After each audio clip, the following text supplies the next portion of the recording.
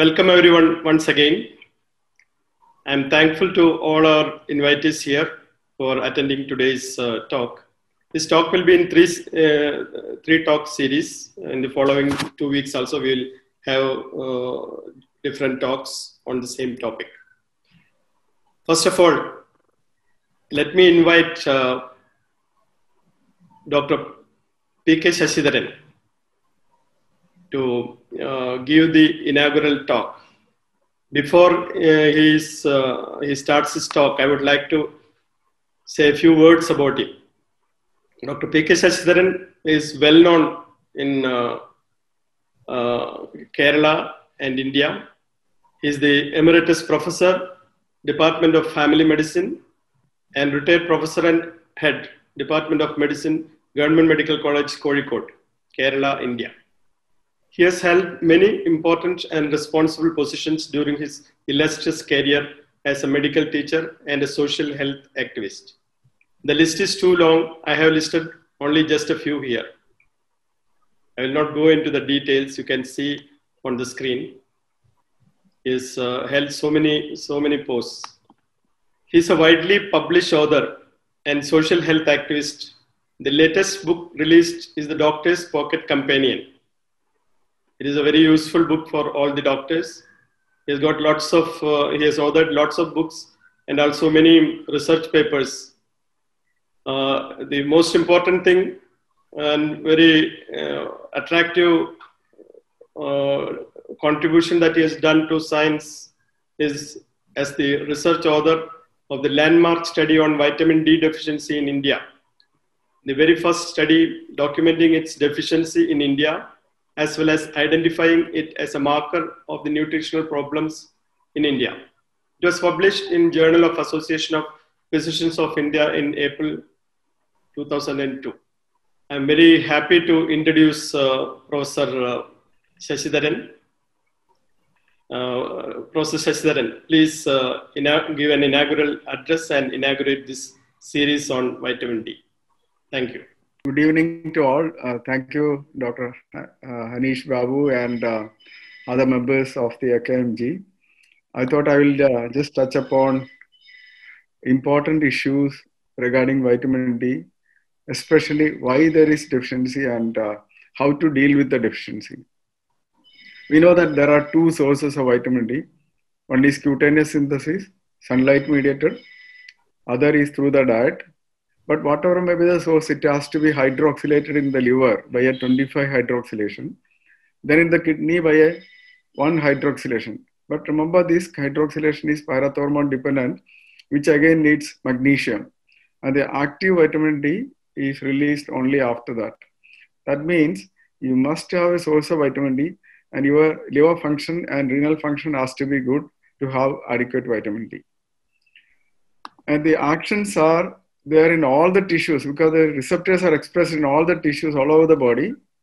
We know that uh, it increases absorption of calcium, phosphorus, magnesium, and the active moiety can inhibit parathormone secretion by a negative feedback. It has got role in all the uh, important uh, physiological functions, bone, neuromuscular, cardiac, hormone secretion, everywhere. And the receptors are there in all the tissues. Obviously, it means that it has some useful role in all these areas.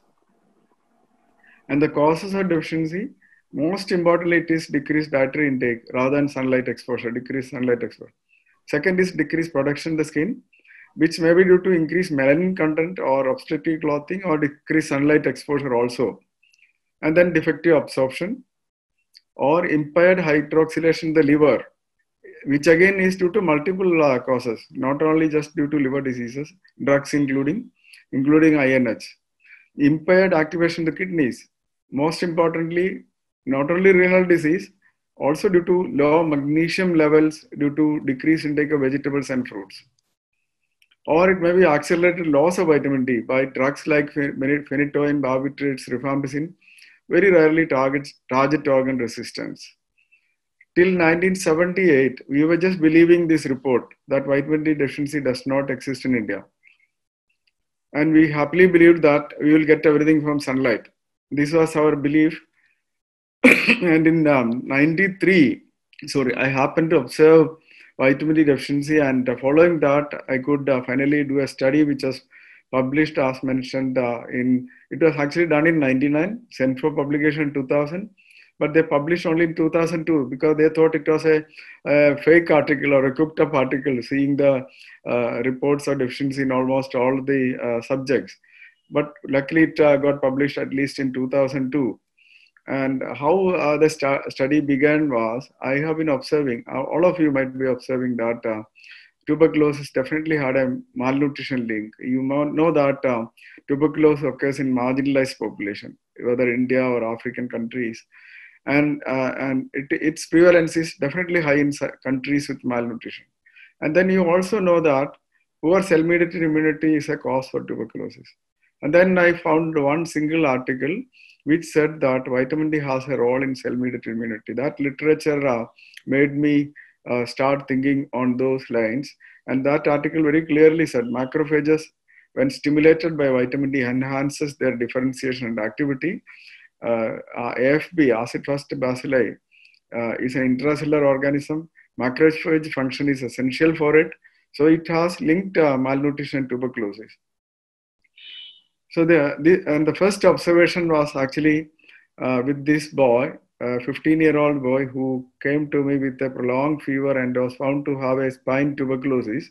He had a low calcium, low phosphate, and uh, elevated alkaline phosphatase.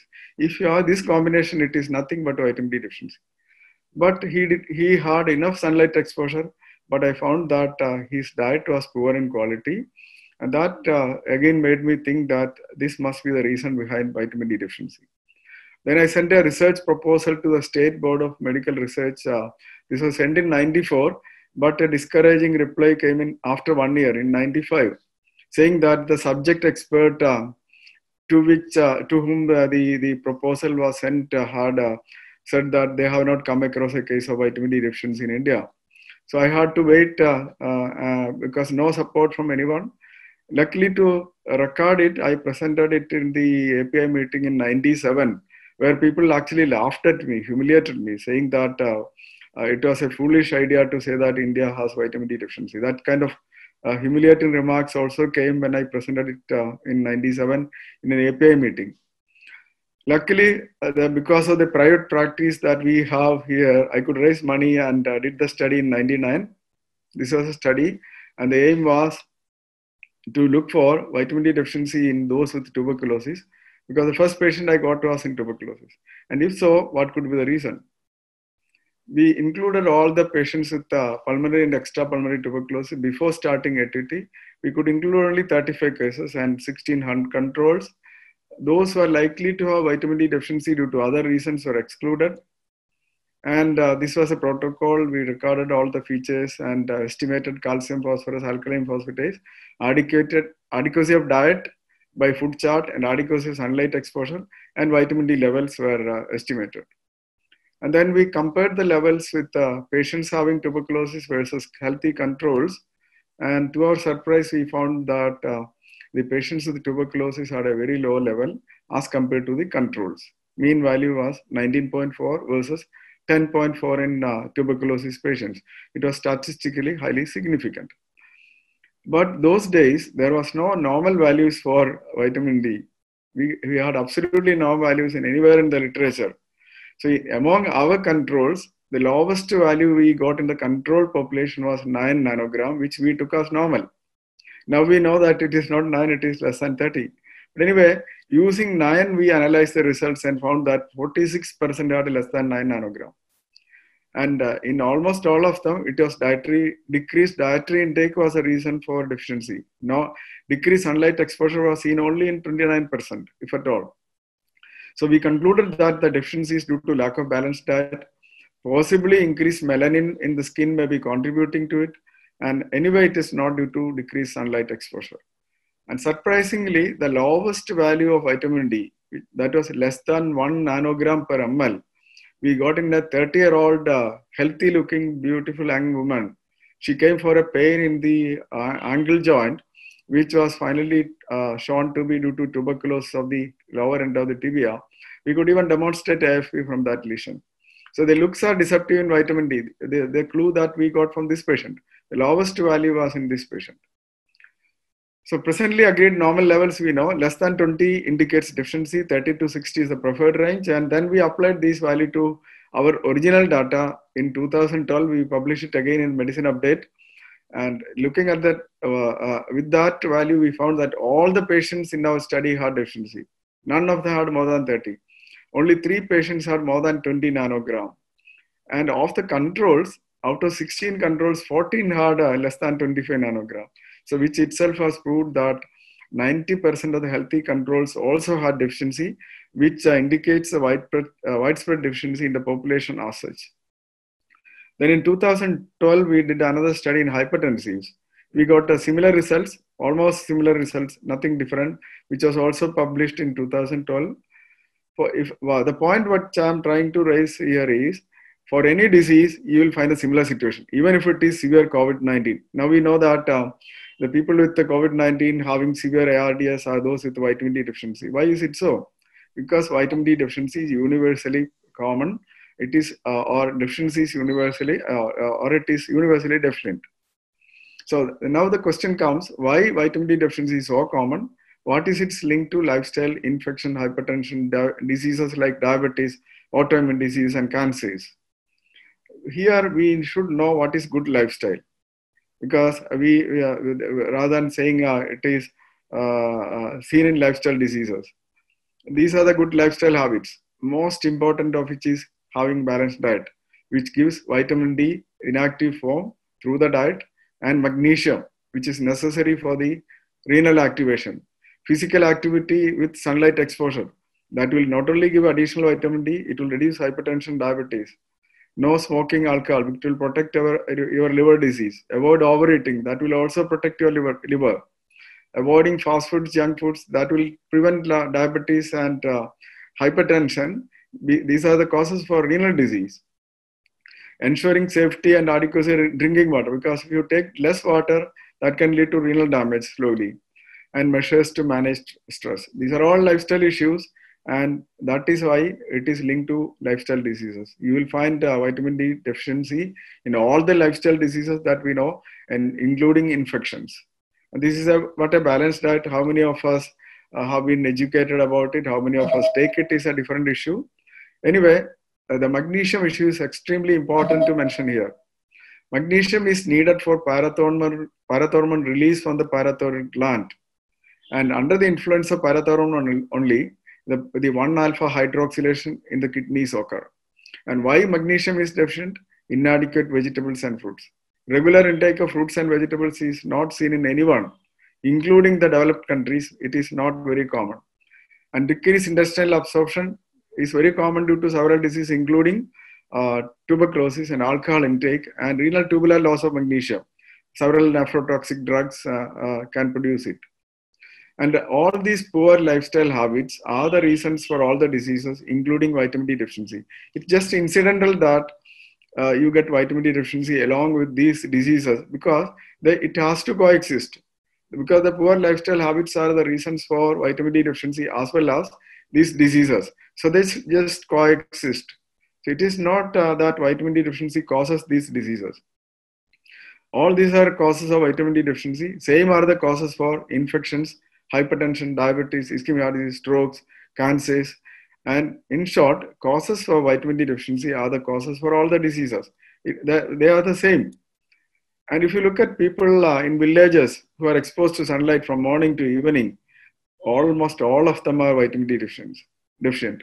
It clearly shows it is not sunlight that is important, it is diet. So we need to have a good lifestyle with a balanced diet, then only we will get inactive vitamin D. That is inactive vitamin D. Then your liver has to be normal, your kidney has to be normal to get it activated too. So the vitamin D deficiency is due to numerous causes. All are widely prevalent in almost all the countries.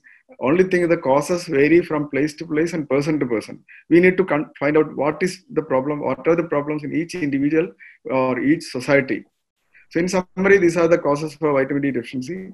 Increased melanin uh, in people like us in Afri- and African countries and no sunlight exposure. People don't get exposed uh, skin is not exposed to sunlight. And they don't take balanced diet, no vegetables, lack of awareness, poverty, alcohol intake, and gastrointestinal diseases. All these prevent even absorption of vitamin D. So you don't get enough vitamin D from the diet too. No sunlight exposure. And uh, to top it all, and the same people are liver disease in one way or other. It won't get activated in the liver.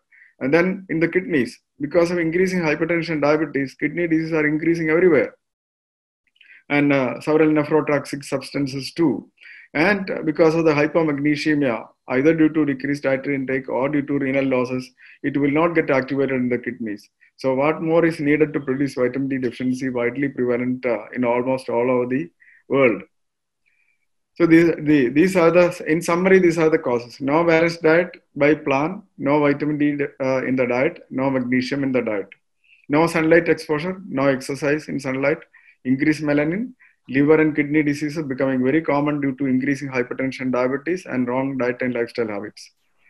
So all these are lifestyle diseases only. We know why balanced diet uh, is missing in most of the people. It is all due to the wrong concepts, wrong awareness, and lack of empowerment. Even rich people are not taking vegetables and fruits regularly. And if at all they get vitamin D, their liver and kidneys may not be functioning properly due to the NASH, non-alcoholic steatohepatitis, or due to other reasons. So what we see as uh, deficiency by lab studies or vitamin D deficiency along with the non-communicable disease and infections is only the tip of the iceberg. And clinically obvious malnutrition and clinically detected vitamin D deficiency is another tip of the iceberg. Actually, these two are tips of the huge iceberg of uh, problems like subclinical malnutrition, subclinical vitamin D deficiency. We don't see it. So we have to study the better problem rather than going on investigating from different ends. Uh, uh, one person will investigate, like say cardiologist or COVIDologist will say there is ARDS, vitamin D deficiency. Cardiologist will say uh, ischemic heart disease. Neurologist will say dementia. Nephrologist say it will say it is due to it's seen in that disease, this disease. Gastroenterologist, everyone. But we forget to see the huge elephant that is malnutrition, lack of balanced diet, and poor lifestyle. This is what we need to address rather than uh, looking at vitamin D through different uh, narrow uh, investigations. And then I'll just touch upon how to recognize vitamin D deficiency. We need to study diet and lifestyle, diet and lifestyle, diet in detail, and anticipate the presence of vitamin D deficiency first of all. And then if they do not take vegetables, fruits, and proteins regularly, they are bound to get it. Definitely they will have. See whether they have liver or kidney disease clinically. And one thing you can look for is Chvostek sign. You just tap on the face. Uh, uh, if that is present, definite vitamin D deficiency you can uh, pro- predict. And remember that mild to moderate deficiency does not have any symptoms. And if you detect one nutritional deficiency, you can predict that there will be a vitamin D deficiency as well because it, that indicates that there are other deficiencies as well. And in case there is long-standing vitamin D deficiency only, you will get hypocalcemia and secondary hyperparathyroidism. In fact, if you look for calcium levels, it will never be abnormal except in very rare patients. And then you can rarely have impaired mineralization of the skeleton leading to osteoporosis. And some of them can come with proximal myopathy, which is due to hypophosphatemia. And these are some of the common presentations nowadays aches and pains. Some of them may have difficulty in swallowing. This is again due to the muscle weakness, which uh, some people uh, label it as globus hystericus. Some, of, some can have muscle cramps, low backache, very rarely tetany, bone pains, osteoarthrosis, cardiomyopathy can occur again due to hypophosphatemia. And people with uh, these kind of problems like cervical and lumbar spondylitis, IVDP, or hypotonia of abdominal muscles in children, rarely, uh, very rarely, prolonged hypovitaminosis uh, D can go on to develop uh, uh, even secondary hyperparathyroidism. And uh, in children, you can have rickets and uh, uh, prior to epiphyseal fusion. And after uh, growth is completed, you may get osteomalacia. severe bone pain, as you said, as we said, can occur in some. X-ray may rarely show Looser zones and pseudofractures, but this is a rarest finding that you may get in a patient with severe vitamin D deficiency. These are things which we are all familiar with: genu varus, tibial bowing, kyphoscoliosis, incept deformity, frontal bossing in pediatric age groups, chest deformity, the Harrison sulcus. uh, this is Harrison sulcus. This is uh, this protuberant abdomen due to hypotonia of the abdominal muscles. Harrison sulcus, the costal cartilages along the costochondral junction. And this uh, wrist and ankle enlargement due to poor mineralization of the cartilage. So why most uh, of these are from African subcontinent? Is an important question that we must ask here because malnutrition is a cause of vitamin D deficiency, and that is why you find it mostly in the African subcontinent. They are more marginalized than Indian patients, and we don't see that kind of deficiency here. And coming to diagnosis of vitamin D deficiency, basically it is a clinical diagnosis, and clinical should focus on dietary history. Always take a dietary history whether they take a balanced diet or not. And if they are deficient in any of the components of balanced diet, they are likely to have it. Look for Chvostek sign. Rarely you may get low calcium, low phosphate, and elevated alkaline phosphatase. Uh, this is extremely rare. If you get it, definitely. And then, uh, uh, lastly, if you are doubting uh, and if you really want to confirm, only look for vitamin D level. It's not necessary because everyone is having deficiency. Why should you look for vitamin D level? And if you want to document, look for increased parathormone levels as well. And because serum calcium and uh, all these are always normal. And coming to treatment, I don't recommend uh, massive doses of vitamin D uh, given to everyone for correcting it because it is non physiological. For example, if you want to take food for a week, we cannot uh, swallow all the food for a week in a day. You have to distribute it. So, physiologically, you need to take daily requirements only, even if you have deficiency, rather than giving massive doses, because rarely it can lead to problems. So the daily recommended doses 800 to 2000 international units daily indefinitely. I have been using it from 1993 onwards, and you can continue it indefinitely for lifelong if you want. Otherwise, improve the diet and lifestyle. Sometimes you can stop it, but necessarily you have to give calcium supplements. Otherwise, uh, the bones will become hungry when you give vitamin D. Uh, if you do not give calcium, uh, there may be problem. And how to deal with or manage uh, the problem in the society. That uh, that is my last part of the talk. In fact, this was very, mentioned very clearly in my first article published in 2002. You can see, I'll, I'll show that uh, relevant portions. The results of that study indicate that diet is still the main factor deciding vitamin D status in the body, contrary to belief that vitamin D deficiency is rare in people who get adequate sun exposure. It may be that increased pigmentation of skin or obstructive clothing might be interfering with cutaneous synthesis. Since obstructive clothing was not noted to be a factor, dark skin might be responsible, leaving the body to depend on diet as a major source of vitamin D. So this was clearly mentioned in that first study in uh, uh, the landmark study, but people are not looking at it. So for adequate vitamin D, the first and foremost is balanced diet for all. People should be empowered for it. First of all, we have to educate the people. We found in a survey that 98.5% of people even do not know what is a balanced diet, leave alone taking it.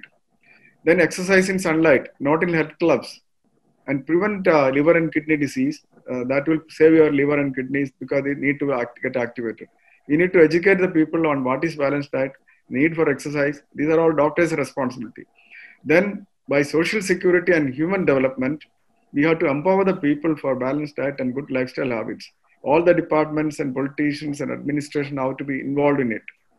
And the, this is the balanced diet chart which we have developed and we have been circulating among the patients and the public.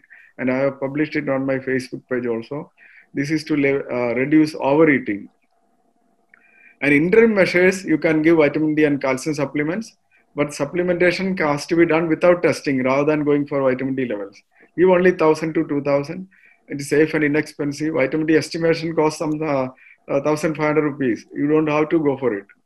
So take home messages from my talk are food is a primary medicine. We should know what to eat and what not to eat. In fact, uh, maybe man is the only animal which does not know what to eat and what not to eat. We should empower the people for regular intake of a balanced diet and empower them for regular sunlight exposure and outdoor exercise rather than building gymnasiums and all. Vitamin D deficiency is only an indicator of malnutrition. It's only the tip of iceberg of malnutrition. Deficiency is multifactorial in etiology. This is my patient whom I had seen in 93. I told that uh, he was an SSLC student he came for prolonged fever and he had a caries spine. and uh, he, he is now an IT fellow, 42 years, having uh, uh, he, he does not have any deficiency at all. He does not take vitamin D supplements even. So it was all due to uh, poor dietary habits. Thank you for the patient hearing. And if you have any queries, I will uh, be happy to answer. I do not know whether being an inaugural uh, talk, uh, you want to ask questions or not. If you have it, I'm only happy to answer it. Thank you. We will take the uh, questions in the after the talk. Okay. Thank you, thank you, Professor Sasidharan, for a very elaborate uh, introductory inaugural speech. You almost covered most of the topics. My approach uh, to vitamin D uh, is slightly different. I am, uh, I'll be referring to the studies available for the last uh, 20, 25 years, and then uh, go on to analyze the bio- biological and molecular actions of vitamin D, and then collaborate it uh, with the evidences available, and also see some negative reports also about uh, vitamin D. Thank you, Professor Sasidharan. It was a wonderful talk. After uh, very illustrative talk, I will request the President of Association of Kerala Medical and Dental Graduates UAE, Dr. George Jacob, to give his address. Dr. George. Good evening. Good evening, everybody. Uh, respected uh, Professor P.K. Sasidharan, Emeritus Professor, Family Medicine, Kozhikode Medical College, Chairperson Dr. G.S. Patnaik, Professor and Head of the Department of Orthopedics, Narayan Medical College, Bihar, and Rajesh Rajan, the esSENSE Global, who is co-hosting, Dr. Sudhu Koshi, Secretary General of our Association of Medical and Dental Graduates.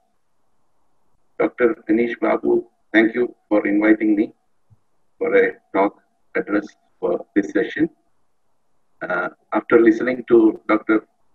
P.K. Sasidharan, I'm sure even the doctors among us who think that vitamin D is not important would have realized how, how important it is and how much work Dr. P.K. Sasidharan has done from right from 78 our textbooks do not carry much about vitamin D. Uh, I passed out uh, of KMC Manipal in 1982. That time it was only rickets, osteomalacia when we mentioned vitamin D. Now, even in skin diseases like alopecia, vitamin D is so important. With this, I will just uh, introduce AKMG, Association of Medical and Dental Graduates, uh, which we started in 2003. Dr. Asad movement, after visiting USA, after seeing the KMG USA and Canada, which is very active there, uh, it has about 3,500 members now. He thought of uh, having an association here so that doctors from hailing from Kerala, practicing here in UAE, can have a get together, cultural events, and then we can have this continuing medical education and uh, continuing dental education for our benefit because we need 40 hours every year for uh, renewing our practice licenses here. What started as uh, a social organization, uh, I mean, uh, for the doctors to get together and uh, our children to exhibit their talent in our conventions. after Dr. Asad opened, Dr. M.K. Ibrahim took over. He's no more with us. And Dr. Vishwanathan also. Dr. Vishwanathan said he's also no more with us.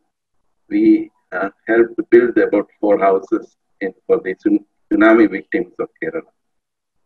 That was the time when we thought a group of doctors, we have a commitment to the society also that we serve.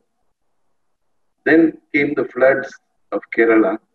In uh, that for that we associated with the Indian Medical Association Kerala branch, Kerala State branch, and uh, we could distribute materials for the needy.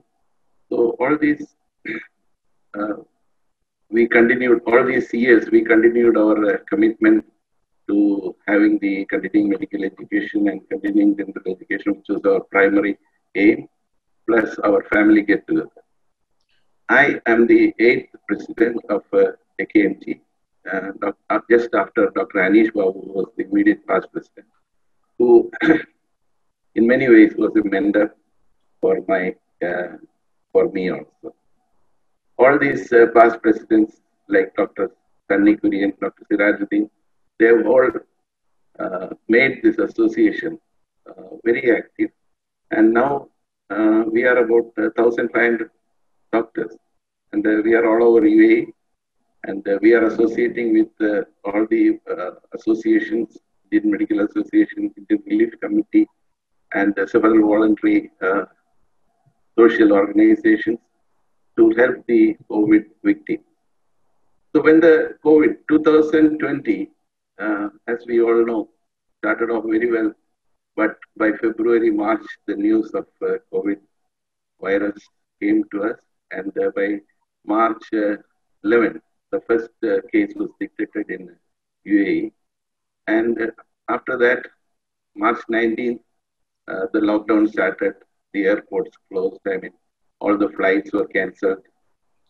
So 2020, we have witnessed that uh, everything has gone against uh, our uh, routine planning. So, doctors, as doctors, we thought uh, we cannot be dormant. We have to be active. We have to do something. And the first uh, opportunity that we got was an invitation from the Indian consulate of Indian, Cons- uh, Indian consulate in Dubai. And uh, we associated with them and NORKA Roots, which is another body recognized by the government of Kerala.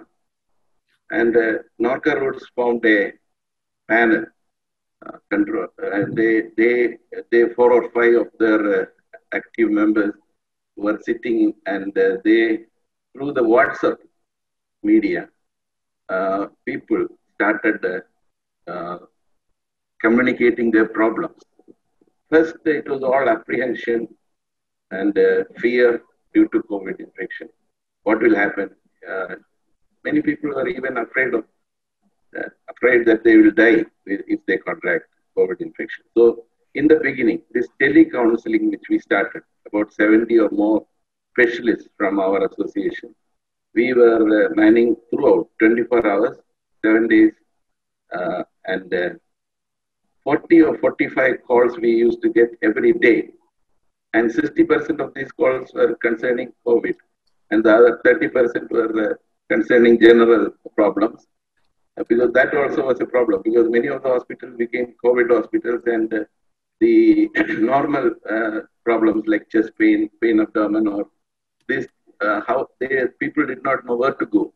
So our members guided them and consoled them and uh, 10% of the cases, uh, we help them how to be quarantined, how to get uh, beds in the hospital. And all these work were very gratifying for us. Then, when we are taking these calls, we came to know that many people had lost their jobs. They did not have a proper place to stay. They did not have even food uh, for their daily. This uh, Dr. P.K. Sasidharan's talk, when I was listening, uh, daily balanced diet leave alone balanced diet, they didn't have, did not have the basic food to survive. So we helped uh, distribute food kits. That is for about five people for 15 days. We we had we prepared uh, rice, uh, atta, wheat, all oil, everything, even sanitary items, and we distributed it to the labor camps through the uh, Indian Association, Indian Relief Committee, and several associations. We could do that, social groups. And uh, the radio channels also were very helpful to, uh, you know, uh, announce our WhatsApp numbers through which we got all these numbers, all these calls regarding COVID. Another important thing that we came to know was that many people had lost their jobs and they had no place to stay, they had no food. So they required tickets. They didn't have the money to buy tickets. The government of India started the Vande Bharat flights but they did not have the money to buy tickets even. It was priced at uh, 750 dirhams in the beginning. Later on, it came to 850, 950. Now it is around 1,500, 1,100, sorry, 1,100.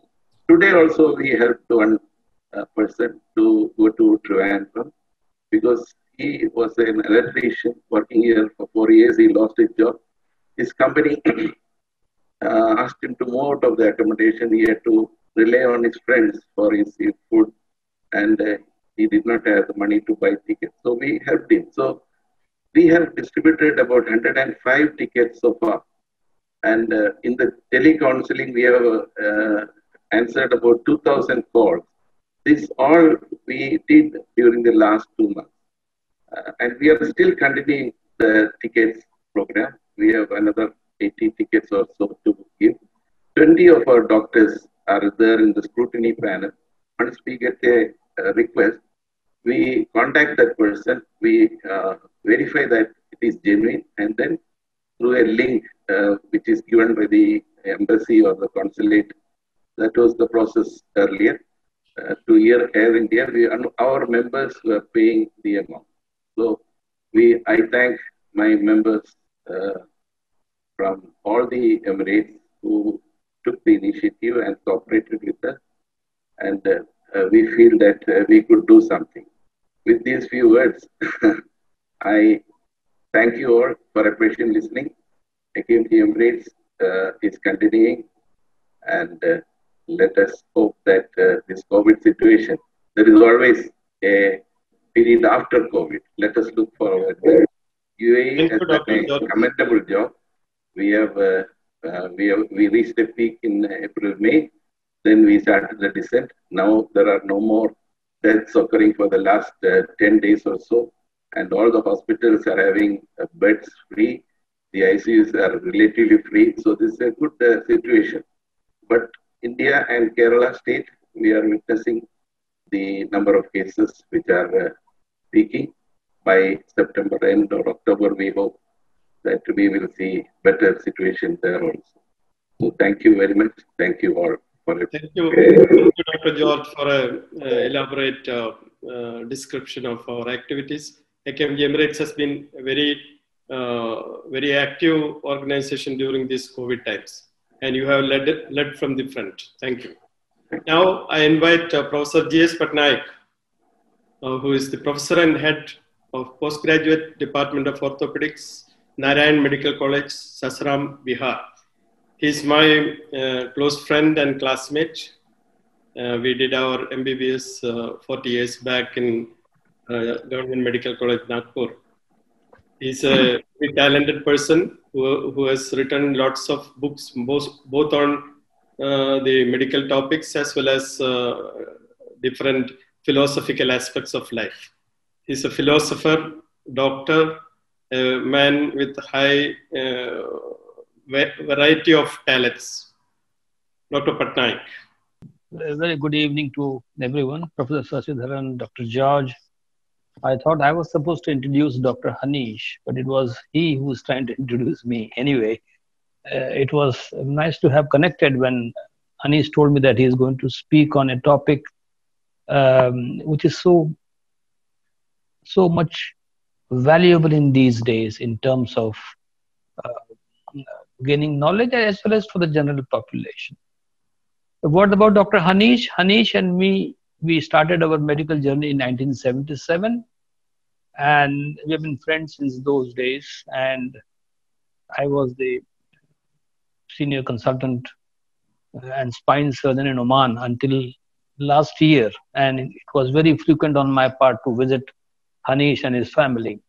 Having said that, uh, Dr. Hanish doesn't require any introduction in the sense he's very well known personality in the uh, Emirates, especially in the Emirates of Ajman, Sharjah, Dubai, as one of the leading dermatologists and uh, a tech savvy doctor, medical administrator, a social reformer, and I've seen the plethora of patients that come up what surprised me about Dr. Hanish, who was a very shy person when he was in medical schools, that he has evolved into uh, social activities, social work, public speaking, teaching, trying to uplift um, the knowledge base of colleagues. And that makes me extremely proud to be associated with him as a colleague. And a, he has continuously updated himself, let it be in stress management, in aesthetic medicine, after his post graduation from Davangere. And um, uh, his approach to patients is very, very mild, and he is the one who is a, I would say, even though he stays in the posh um, hospitals in Ajman and Dubai, but he's basically speaking a very down to earth and I would say barefoot doctor in the sense anyone who approaches him with any problem. I've seen many Bangladeshis, Indians, and who come up. So that speaks of the academic interest that has percolated deep down in him and that has come up to help his colleagues. Having said that, uh, it is so nice to see that Dr. Hanish will be talking something on the present uh, pandemic, COVID, which has certainly become a huge nuisance in the sense in a country like India now, which we thought that would possibly not have the same surge. We have almost more than um, uh, 25 to 27 lakh uh, patients. And in my own home state of Orissa, in last one month, we have 40,000 new addition and with consequent deaths.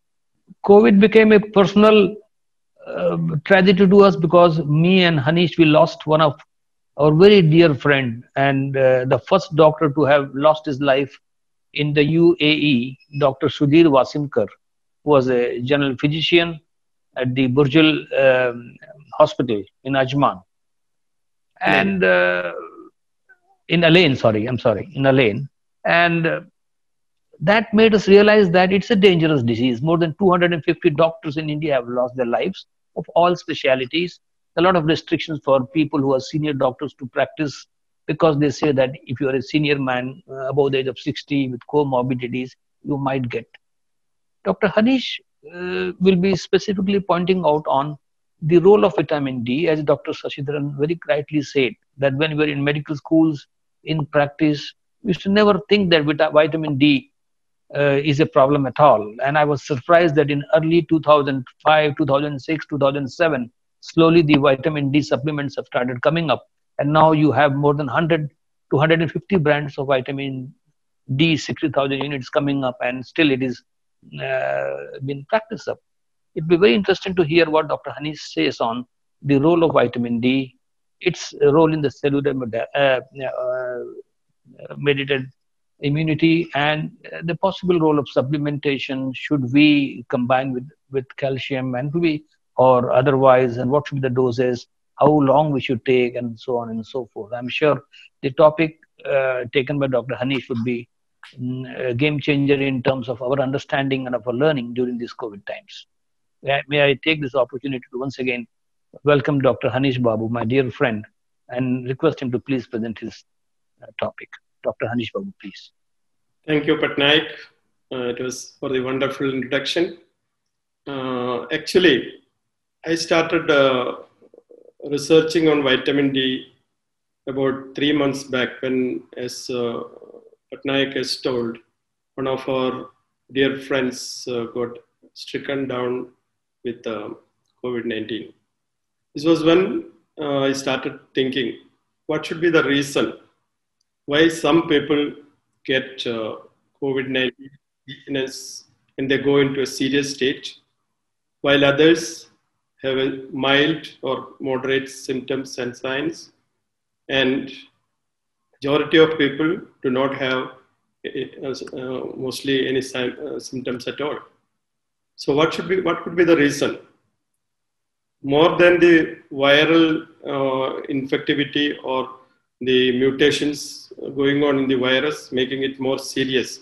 Could it be the host response or host nutritional status or host immune status which will be deciding the real course of the disease?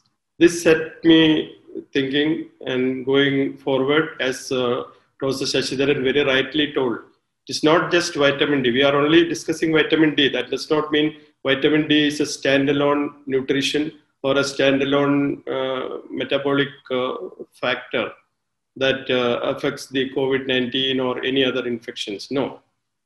It is part and parcel of a huge metabolic pathway, a nutritional pathway, which helps us fight the diseases, fight the infections. We'll go into details during these three uh, talks. I think by the end of the all the three talks, you will all be convinced that vitamin D is indeed something very, very uh, essential for our life.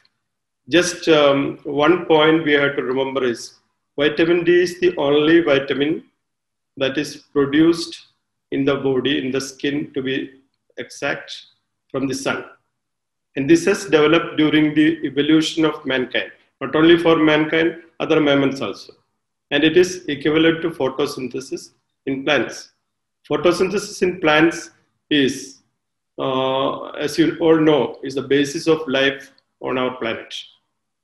Of course, we, when we think like that, vitamin D metabolism, vitamin D production in the body is very essential. The body has taken uh, real uh, care to see that we never lack vitamin D. But unfortunately, our lifestyle and our food habits have uh, pushed us, majority of us, into deficient states. This is something that we have to sit up and listen.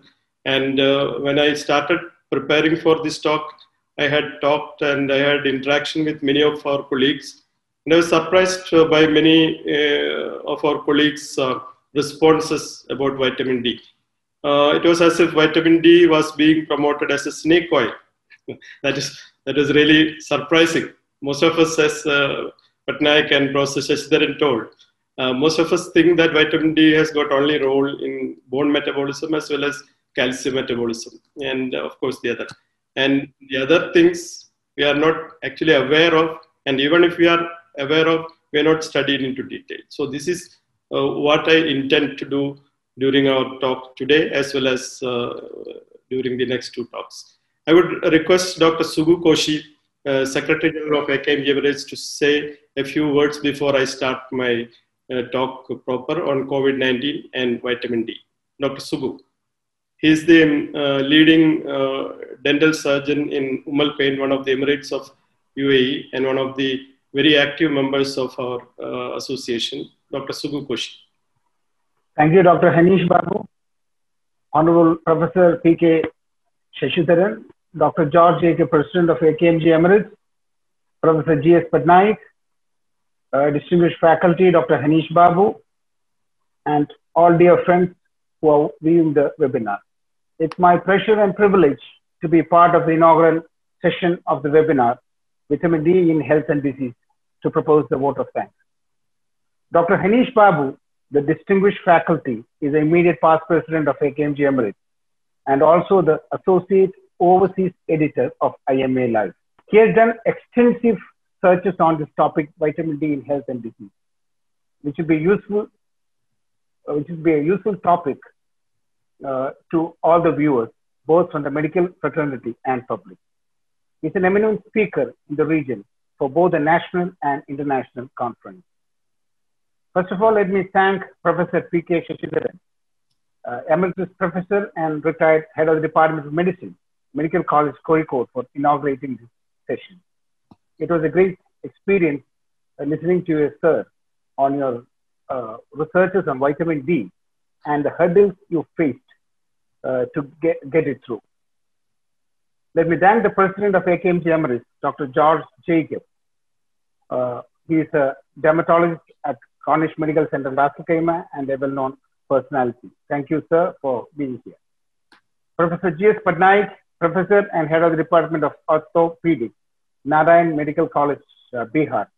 Uh, thank you, sir, for uh, introducing the speaker, Dr. Hanish Babu, and for the introductory session. Dr. Hanish Babu is a distinguished faculty here today. He is a specialist dermatologist at City Medical Center, Ajman, and the past president of AKMG. Thank you, doctor, for the excellent effort to disseminate the accurate knowledge to the medical fraternity and the public. Let me thank all the viewers of both the medical, both medical and non-medical for viewing the webinar, which is a need of the hour in COVID time. Thank you. Thank you so much.